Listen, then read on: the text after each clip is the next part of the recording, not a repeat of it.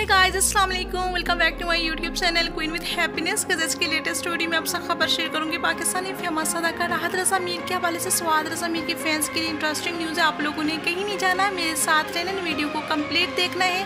अगर आप लोग को वीडियो अच्छी लगे तो वीडियो को लाइक एंड चैनल को भी सब्सक्राइब करें कमेंट सेक्शन में अपनी राय का लाजमी करना है।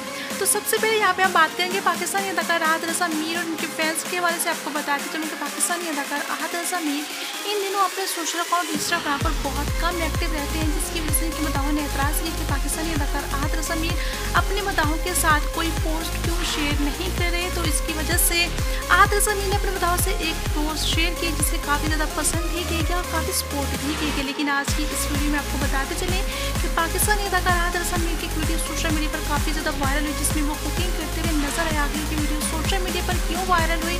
तो आइए आज की इस वीडियो में आपसे शेयर करती हूँ। बताते चलूँ कि पाकिस्तानी अदाकार आहत हसन इन दिनों कोरिया में मौजूद होते हैं और कभी कभी वो अमेरिका भी पहुँच जाते हैं। लेकिन इन दोनों उन्होंने अपने नेटफ्लिक्स सीरीज़ के सेट से एक वीडियो अपने मदाओं से शेयर की, जिसे काफ़ी ज़्यादा पसंद किया गया और ये वीडियो इस वक्त सोशल मीडिया पर काफ़ी वायरल भी जा रही है, जिसमें वो कुकिंग करते हुए नज़र आते हैं।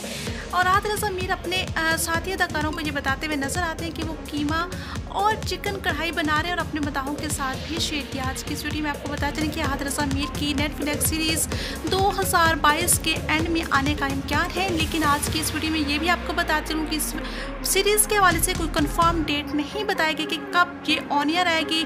सो मिलती हूँ एक और वीडियो में। तब तक के लिए मुझे दीजिए इजाज़त। अल्लाह हाफिज़।